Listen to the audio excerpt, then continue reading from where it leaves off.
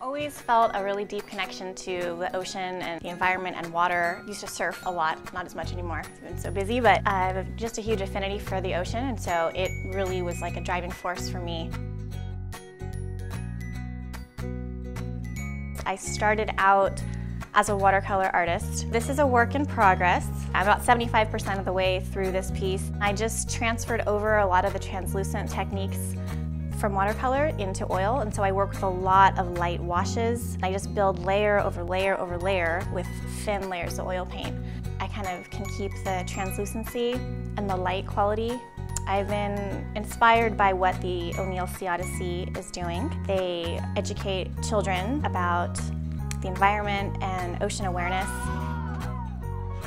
And I had an opportunity recently to go out on one of their boats and see firsthand what all these kids are learning. One of the most important things I talk about on the Sea Odyssey with the kids is the sea otter and how important the sea otter is to our oceans. And so this piece was kind of done as, as like a reverence piece to the sea otter for being the ambassador of the sea. I don't know what I'm going to call it yet, but it'll be something cute like that.